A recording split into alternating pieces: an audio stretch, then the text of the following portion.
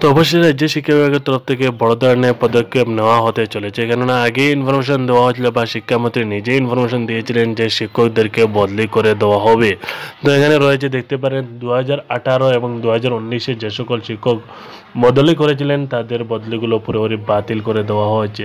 তো এখানে শিক্ষা বিভাগের সচিব প্রীতম চৈকিয়ার পক্ষ থেকে সেই বিষয়ে ইনফরমেশনটা জারি করা হয়েছে। যে সকল শিক্ষক আগে বদলে নিয়েছিলেন বা অবৈধভাবে বদলে নিয়েছিলেন, তাদেরকে পুরোপুরি বা আগের জায়গায় নিয়ে নেওয়া হবে। তো এখানে সঙ্গেও এরকম খবরও উঠে এসেছে যদি এরকম কোনো শিক্ষক হয়ে থাকেন বা যদি এরকম কোনো শিক্ষক বদলি হওয়ার পর কোনো অসুবিধার সম্মুখীন হয়ে থাকেন, তাহলে তাদেরকে একটু সুযোগ বা তাদেরকে একটু সুবিধা করে দেওয়া হচ্ছে। তাদেরকে দশ দিনের সময় দেওয়া হবে, তো তারা সেই দশ দিনের ভিতরে আবেদন করতে পারেন।